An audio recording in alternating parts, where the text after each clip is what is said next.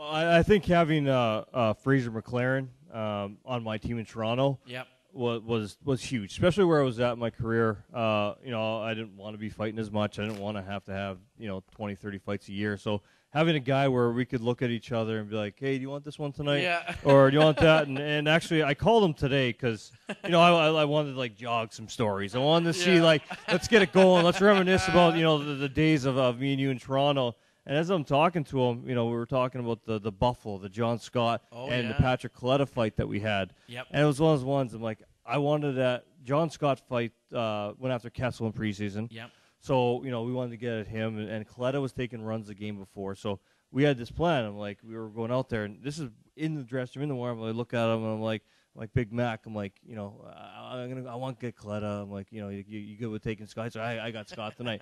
so we discussed it before, and sure enough, right off the face off, you know, melee. He goes after Scott. I go after Kaleta. Kaleta's running away from me. Um, but we get in this, this this huge brawl, and then he goes. The worst part about it was that you got kicked out. My other linemate Komarov got kicked out. He goes, I didn't see another shift that game. He's like, 'cause there no linemates left. So it was like one of those ones where, you know, he's looking at it going, well, thanks a lot. You know, now here I'm uh, sitting on the bench the rest of the game. Yeah, oh, on the lonely island. Yeah. Right in the pine.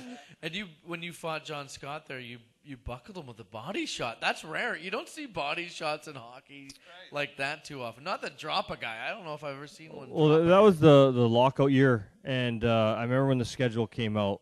I knew we were playing Buffalo, Yeah. and I I knew from the start. I'm like, I haven't fought John Scott yet. I'm like, this is going to be the night, home opener. Uh, I'm going to go after him, and I remember just catching him under the ribs with a with a body shot and just dropping him. I got just just was pumping it up from there because one of those ones where I prepared for that. It was like you know, it was like you're a boxer getting ready for a match. Like I was training, I was you know like running, you know, doing pull ups in the basement, like all this kind of stuff.